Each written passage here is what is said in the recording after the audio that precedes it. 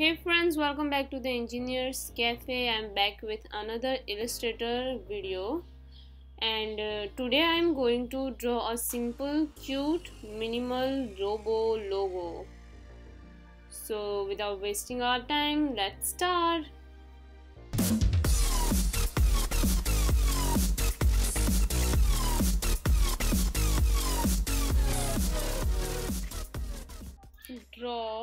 a square.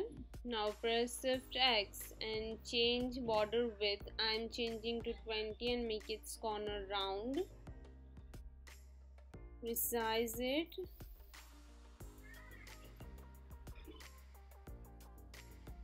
Now for an eye i'm drawing a circle of same stroke. Command c command f shift drag and eyes are ready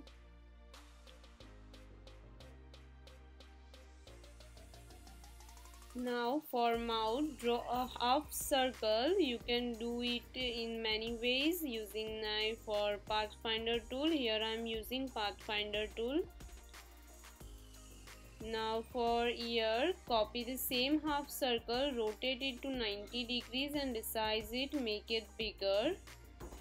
For another ear simply reflect this ear now for the head or antenna part, take the same half circle, rotate it to the 180 degree and flatten it. Now draw a rectangle and a circle and align three of them to the center and place it. Now by using a circle tool, I'm going to draw the eyeballs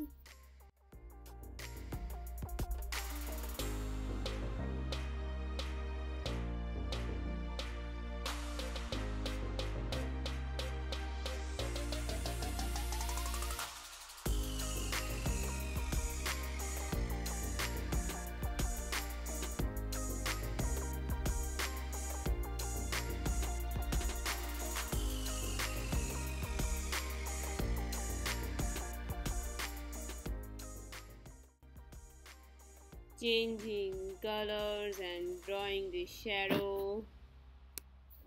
Here is my robo logo ready.